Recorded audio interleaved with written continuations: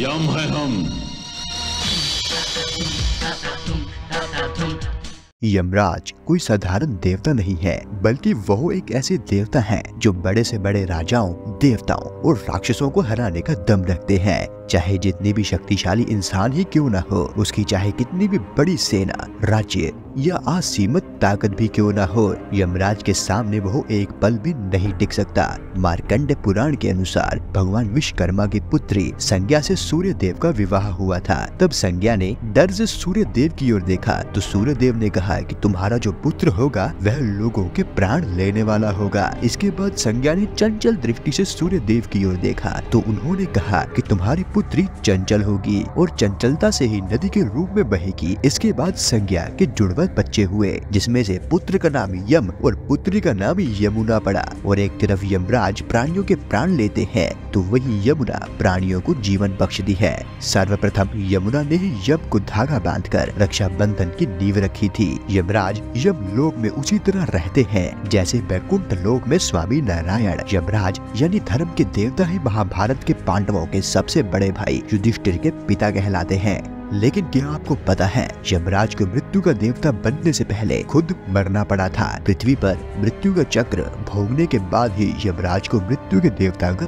पद प्राप्त हुआ था। पौराणिक कथा के अनुसार एक बार यमराज और शनि देव में युद्ध छिड़ गया। मित्रों, बता दे की शनि देव भी सूर्य देव की दूसरी पत्नी छाया के पुत्र थे, जिस कारण शनि और यमराज दोनों ही भाई थे।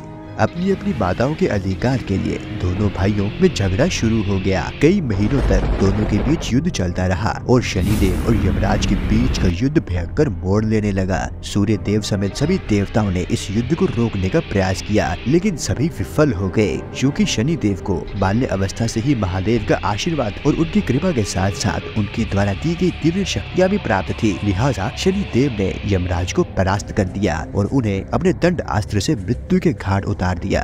अपने पुत्र को मृत काया में देख सूर्य देव अत्यंत विचलित हो उठे। सूर्य देव और उनकी दोनों पत्नियाँ, देवी संज्ञा और देवी छाया ने महादेव का आह्वान किया और महादेव के प्रकट होने पर उनसे पुनः यम को जीवित करने का आग्रह किया। महादेव ने सूर्य देव की प्रार्थना को ठुकराते हुए उन्हें यह समझाया कि मृत्यु अटल सत्य है और एकमात्र उनके पुत्र के लिए वह इस सत्य को परिवर्तित नहीं कर सकते। तब शनि देव ने स्वयं महादेव से प्रार्थना की और उन्हें यम को जीवित करने के पीछे का ठोस कारण भी बताया। शनि देव ने भगवान शिव को कहा कि एक माह के बाद मृत्यु के देवता का दायित्व संभालने के लिए महादेव, आप स्वयं देवताओं में से किसी न किसी का चयन करने वाले थे। इस चयन का आधार होता है मृत्यु के चक्र को पूरा करना। यम देवता पुत्र है, किंतु उन्हें किसी भी प्रकार की दैवीय शक्ति प्राप्त नहीं हुई थी। इसी कारण वह अमृत से वंचित थे और उनकी मृत्यु हुई। अब उनकी मृत्यु पर उन्होंने मृत्यु का चक्र सर्वप्रथम पृथ्वी पर पूरा कर लिया है। इस आधार पर महादेव को यम को न सिर्फ़ जीवित करना चाहिए, बल्कि उन्हें मृत्यु का देवता भी बनाना चाहिए। भगवान शिव शनि देव के तर्क से अत्यंत प्रसन्न हुए और उन्होंने शनि देव के आग्रह पर सूर्य पुत्र यम को जीवित कर दिया। भगवान शिव ने सूर्य पुत्र यम को मृत्यु के देवता का कार्यभार भी सौंपा और इस प्रकार सूर्य पुत्र यम मृत्यु के बाद